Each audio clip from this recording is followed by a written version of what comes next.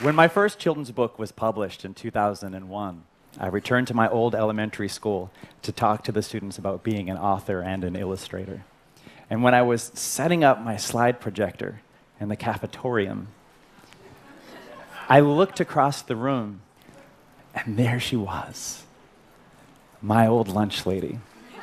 She was still there at the school, and she was busily preparing lunches for the day. So I approached her to say hello, and I, I, said, Hi, Jeannie, how are you? And she looked at me, and I could tell that she recognized me, but she couldn't quite place me. And she looked at me and she said, Stephen Krosoczka? And I was amazed that she knew I was a Krosoczka, but Stephen is my uncle who is 20 years older than I am. And, and she had been his lunch lady when he was a kid.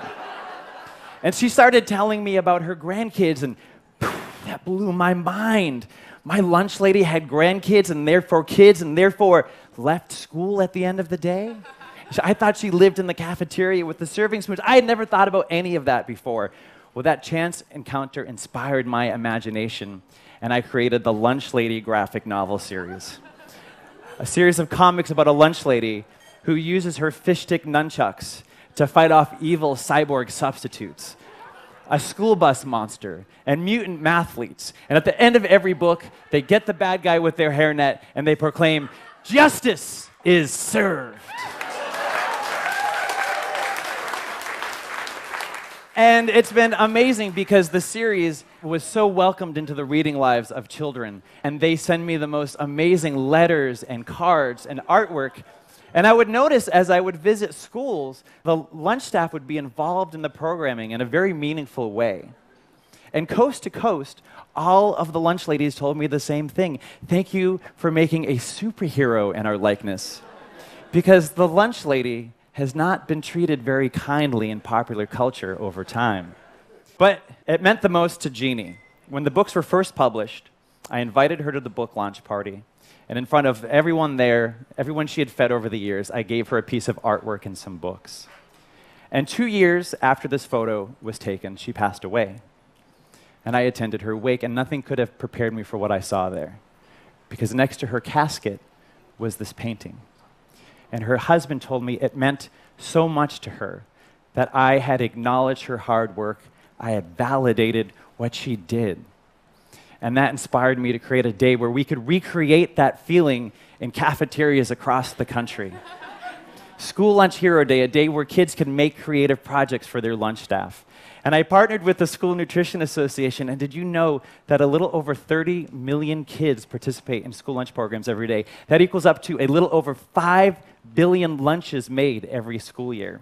And the stories of heroism go well beyond just a kid getting a few extra chicken nuggets on their lunch tray. There is Miss Brenda in California who keeps a close eye on every student that comes through her line and then reports back to the guidance counselor if anything is amiss. There are the lunch ladies in Kentucky who realized that 67% of their students relied on those meals every day and they were going without food over the summer. So they retrofitted a school bus to create a mobile feeding unit and they travel around the neighborhoods feeding 500 kids a day during the summer.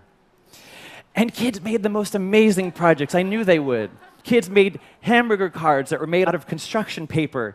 They took photos of their lunch lady's head and plastered it onto my cartoon lunch lady, affixed that to a milk carton, and presented them with flowers. And they made their own comics starring the cartoon lunch lady alongside their actual lunch ladies. And they made thank you pizzas where every kid signed a different topping of a construction paper pizza. For me, I was, I was so moved by the response that came from the lunch ladies. Because one woman said to me, she said, before, before this day, I felt like I was at the end of the planet at this school. I didn't think that anyone noticed us down here. Another woman said to me, you know, what, what I got out of this is that what I do is important. And of course, what she does is important. What they all do is important. They're feeding our children every single day. And before a child can learn, their belly needs to be full.